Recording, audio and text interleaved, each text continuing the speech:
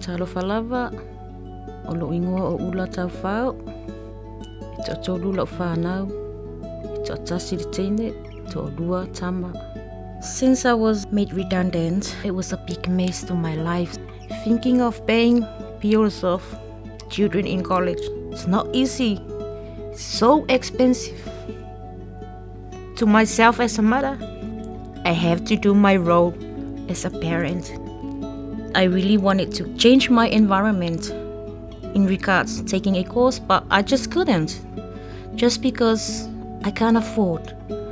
Then I said to myself, I really need to uh, move on.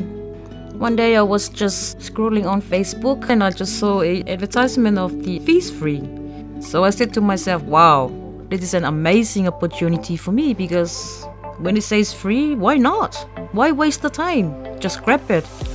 It's a pleasure to me to have this beautiful chance because I just couldn't do it if I do have to pay. My message for everybody if you are keen to grab this kind of great opportunity which is fees free, go to the website of fees free, check on your eligibility. You might think, oh, I'm too old. Please, you are not too old. I'm 43, but I still not giving up. Doesn't matter if you got how many children, you can still get the chance to go and study.